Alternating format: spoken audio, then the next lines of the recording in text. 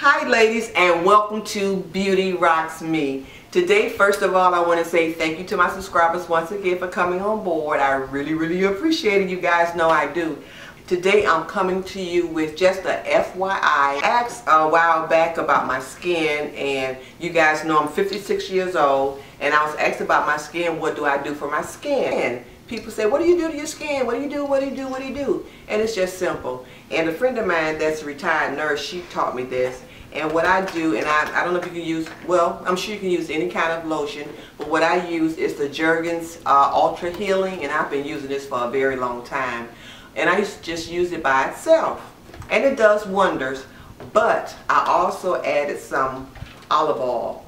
And every day, especially after a shower, and I just shake it up and moisturize my body. And I'm not kidding you, all day long my body stays moist, not greasy, but moist.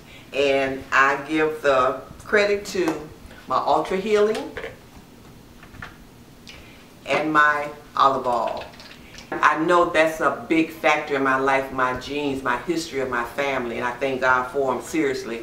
That's my FYI for you guys for today. So, lotion and olive oil. And keep your skin looking good. So until we meet again, this is Beauty Rocks Me saying be blessed, spread love, share love, and embrace love. Bye.